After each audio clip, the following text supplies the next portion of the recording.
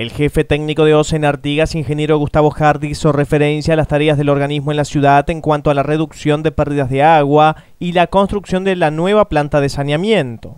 Sí, ya prácticamente está finalizando estos trabajos que se comenzaron ya hace dos años. Eh, los resultados han sido eh, muy buenos. Eh, estamos con una reserva de agua eh, pronta para producir, prácticamente de el doble de lo que estamos necesitando y eso es las consecuencias de, todo este trabajo que se ha hecho con la expresa Pina en, la calle. O sea que las pérdidas de aguas que antiguamente eran algo que asombraba a vos ya no existen más prácticamente. No, se han reducido a niveles eh, más que aceptables, estamos por encima de lo que es la, media clásica de una empresa de agua eh, y, bueno, es lo que se ve en la calle que no corre un montón de agua.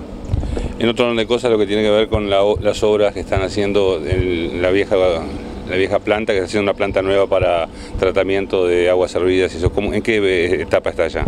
Eh, eso está evolucionando, como, como ya lo puede ver la población.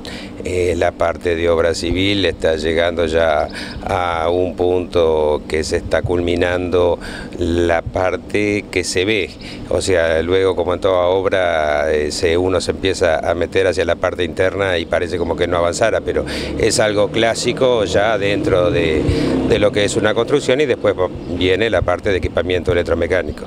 Esperamos cumplir con, con los plazos que para el año próximo ya esté terminada y en funcionamiento.